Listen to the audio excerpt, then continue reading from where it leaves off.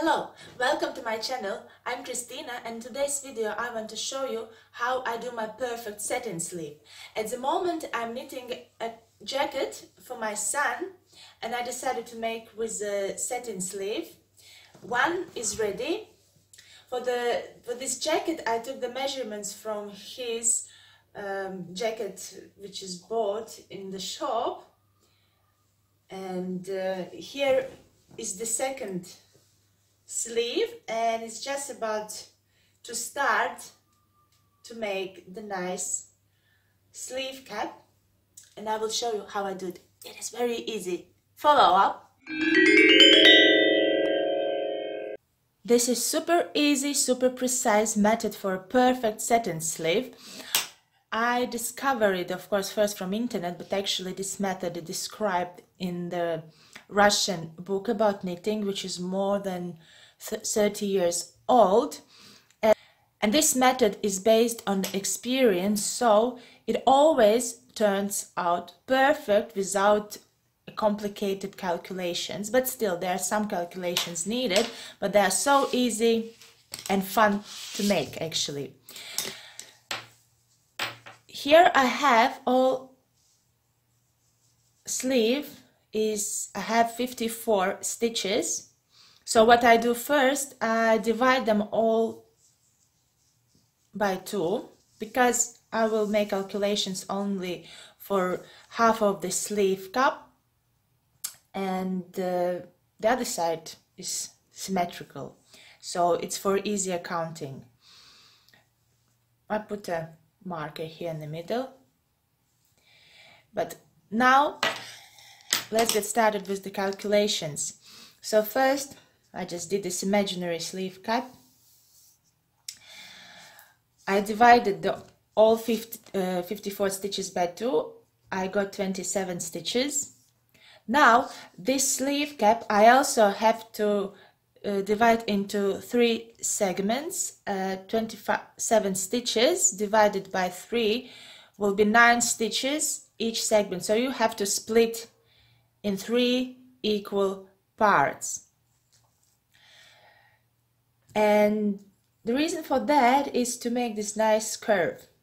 So the curve sort of consists of these three distinct parts, which here is more steep decreases and binding off. Here is a little bit uh, taller, like in more rows needed for this part. And here is the, the top, which is also quite short and steep. So for this reason, we divided all the stitches by 3. So I get 9 here, 9 here, and 9 in the first part. What we do with part number 9, this 9 we need to divide in 3s and 2s. No, let's say, again, imaginary, I divided this part into three parts.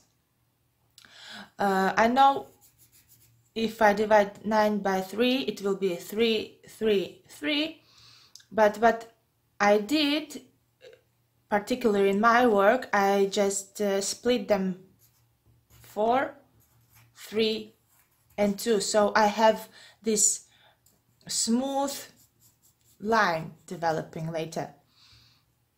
So uh, the part number 2 we also have to divide by 3 because if we'll look closer this part. Here also will be a little bit different slants.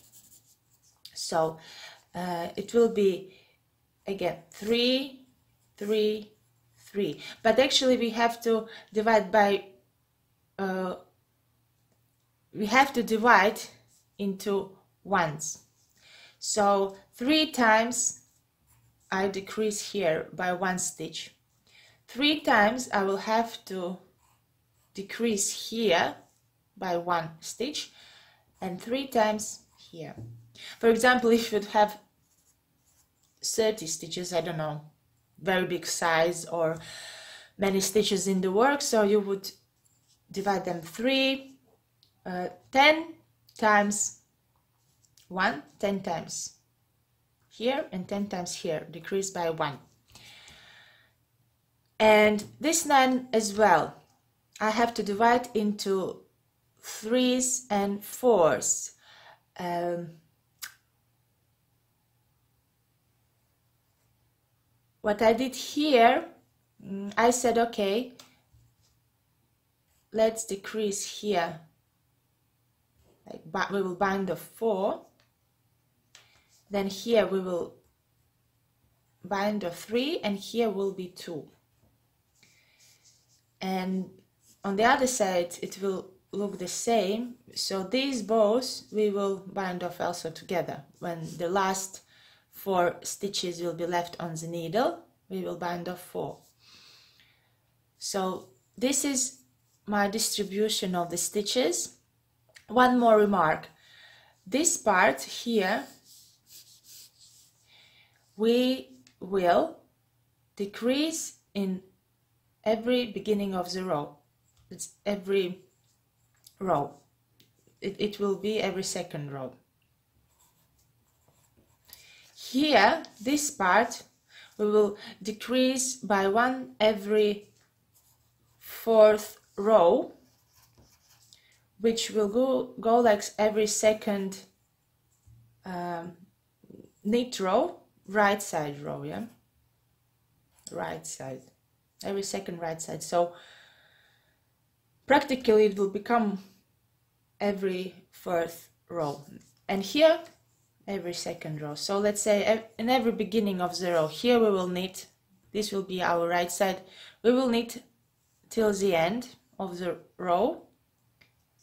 And then we will start the new row and here we will bind the four stitches. Schematics onto the paper and uh, here I schematically drew uh, pointed where my decreases will be. Here are my row counts, 36 rows. Here, right side, wrong side, right side, wrong side. And here is our distribution of the decreases. It looks very complicated. Um, if you want to really go into deeper details and look more carefully, I will I have a separate blog post on my website stylishknitting.com. You can go and have a look there if you have uh, questions left. Of course, this is very quick, brief introduction into this method. It looks complicated, but actually it's like only dividing into threes and then distributing the decreases no calculate um, you don't need um, to know how much centimeters you need for the height of a sleeve cap because um, because proportionally it will match exactly the armhole. Now following these schematics I will finally finish his sleeve cap because I, waiting, I was waiting for days to finish, but I just really wanted to show you how I do it and you will manage it turn out perfect. If you ever had a fear of knitting set-in sleeve, this will become easy for you. So now I got the height of the sleeve and now I see I need to bind off four stitches. I will show you also how what to do if you want to get a lean and nice decrease edge. No. Do it like normal way. I have there here a garter stitch, so every row I will knit. And I decrease, I bind off four stitches. One two three and four. And I knit until the end of the row. So now I knitted to end of this part. I go onto the next row. I'm going to knit the next row now. And I need to bind off four stitches again. I do that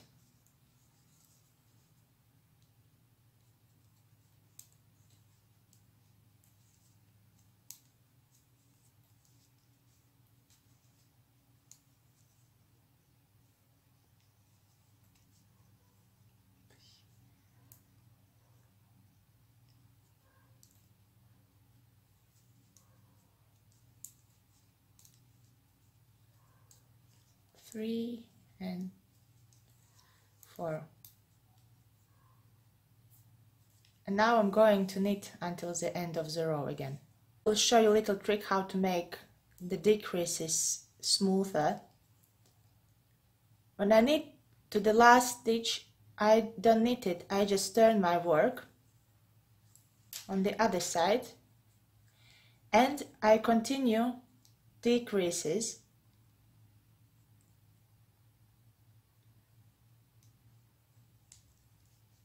now I need to decrease uh, three stitches so a bind of three. Two three. Here is our new row and the line is really smooth. And now I continue to knit until the end again and where I will do the same bind off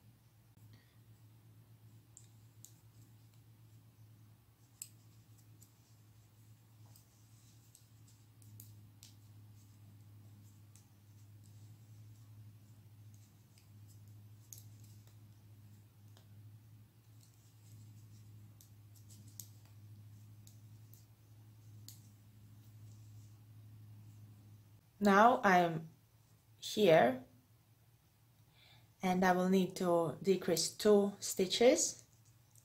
I do like I did before. I knit the last stitch.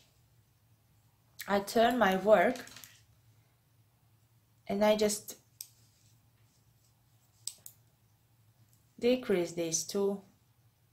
And I just decrease two stitches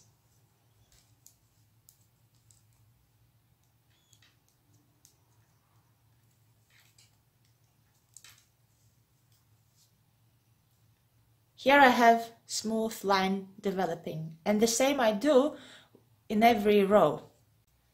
This is how my sleeve cap looks after I finish decreases in this first segment, 4, 3 and 2 stitches. Now I go to this uh, second segment, segment and as I said before, here I will need to decrease in every second row the middle part in every second knit row or it's uh, every fourth row. And the last bit I decrease the same like here. So let's go. Here I knitted almost until the end. Again I do the same. I don't knit the last stitch. I turn my knitting and I decrease one stitch and then I continue knitting. Now now when we go to the end of the row we will be here. We go we will start knitting and decrease one stitch in the beginning in of the beginning in the in the beginning of the row. So this is how my sleeve cap looks like after I did the first part of the se uh, second segment I did the three increases or decreases by one stitch in every beginning of the row.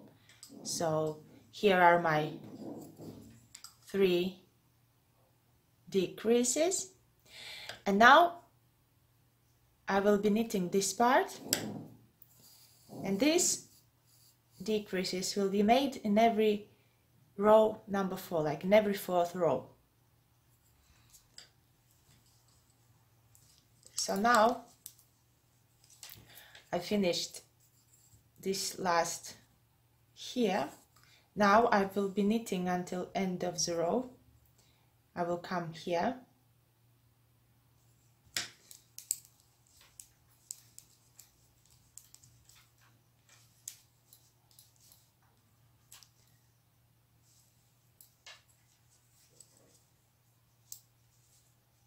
and here I don't do any decreases.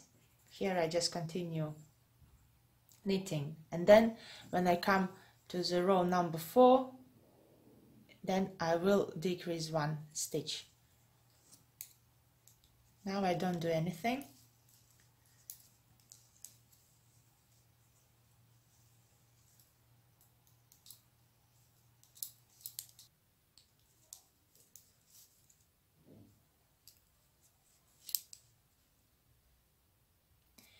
So I knitted three rows without any decreases and now I'm going to knit the row number four and I will have to make one decrease here. I do that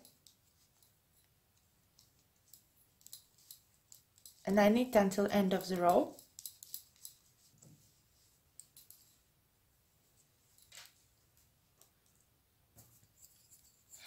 And now I do one decrease here.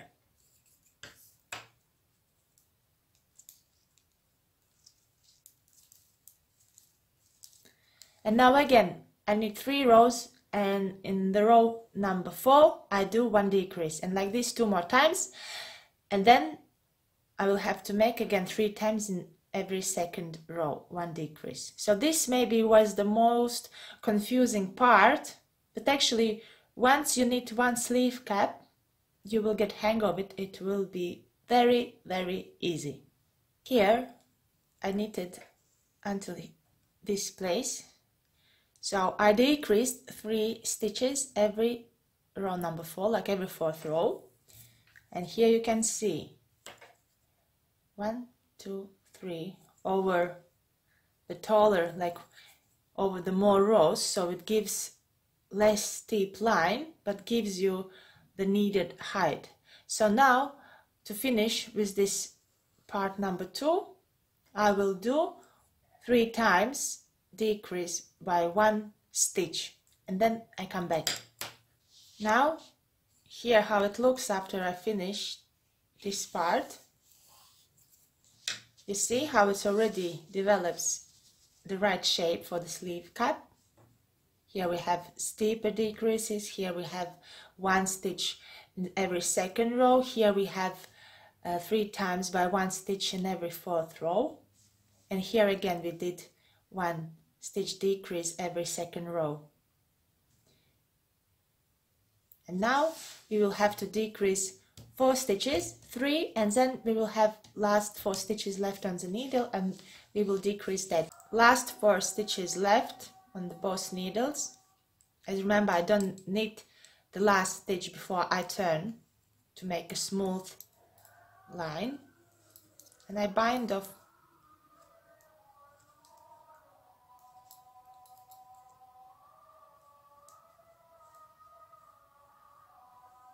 later I can hide the end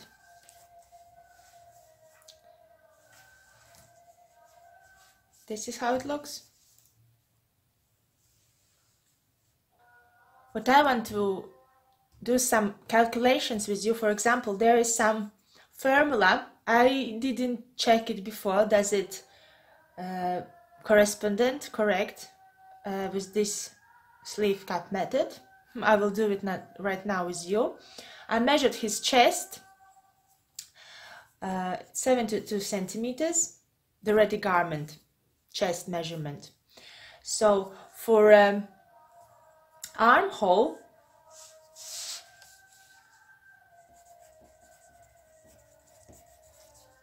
the formula is divide the chest, uh, the bust circumference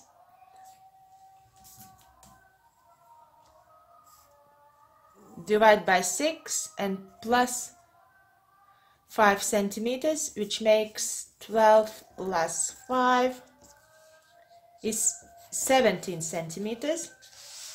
Okay remember this number. And the sleeve cap.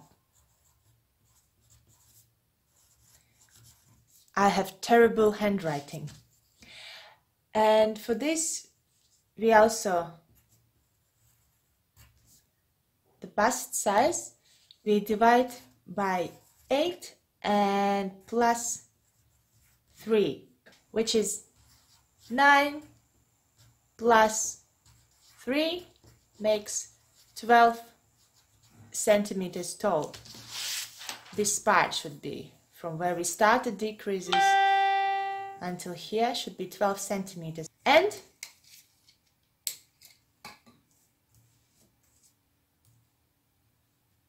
here we go look I didn't use this formula. I didn't know how tall the sleeve cap should be but it is about the 12 centimeters which is correct looking for the calculation. So this method is really really great. And let's look at our sleeve armhole not sleeve cap armhole. So here I have his half ready garment. Let's just measure it is it 17 centimeters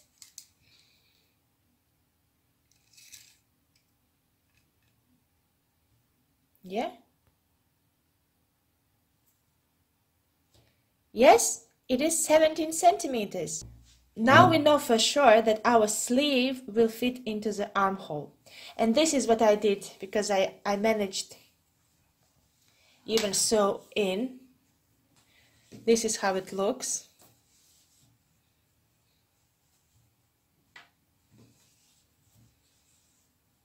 And it fitted in perfectly. Now I will show you how to do it on the other side as well. Thanks for watching. Please press like and subscribe to my channel if you want to see more videos like this. And I will see you next time. Bye.